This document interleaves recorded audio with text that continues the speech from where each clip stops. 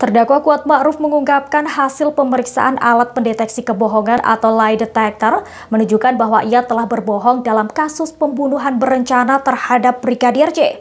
Dalam persidangan bukannya mengakui, Kuat malah mengatakan bahwa jawaban dialah yang benar karena alat tersebut merupakan robot. Hal itu diungkapkan Kuat saat dihadirkan jaksa penuntut umum sebagai saksi kasus pembunuhan berencana terhadap Brigadir J.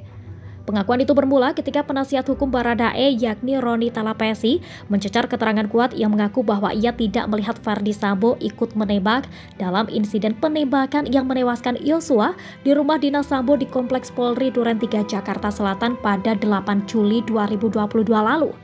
Mendengar jawaban itu, Roni lantas menanyakan apakah Kuat pernah menjalani pemeriksaan dengan menggunakan lie detector saat proses penyidikan di Baris Krim Polri. Kuat pun mengakui bahwa ia juga telah menjalani pemeriksaan alat pendeteksi kebohongan dalam proses pemeriksaan di kepolisian. Ia kemudian mengungkapkan hasil pemeriksaan dengan lie detector itu menunjukkan bahwa ia berbohong kepada penyidik. Atas penegasan jawaban itu, Roni pun kembali memastikan hasil pemeriksaan lie detector yang disampaikan oleh Kuat tersebut. Bukannya kembali menegaskan bahwa hasil lie detector menunjukkan kebohongan, Kuat malah mengatakan bahwa jawaban dialah yang benar karena alat tersebut merupakan robot. Peristiwa pembunuhan Yosua disebut terjadi setelah cerita Putri Chandrawati yang mengaku dilecehkan Yosua di Magelang.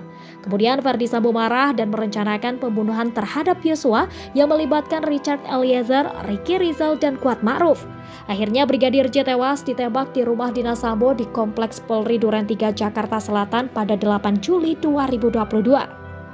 Atas perbuatannya, Richard Eliezer, Fardi Sambo, Putri Chandrawati, Ricky Rizal, dan Kuat Ma'ruf didakwa melanggar pasal 340 KUHP, subsider pasal 338 KUHP, jungto pasal 55 ayat 1 ke 1 KUHP, jungto pasal 56 ke 1 Kitab Undang-Undang Hukum Pidana.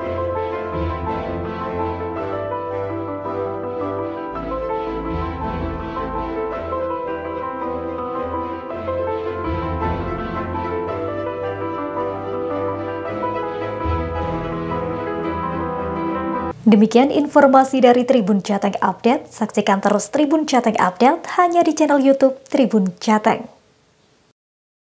Jangan lupa follow, like, dan subscribe sosial media Tribun Jateng.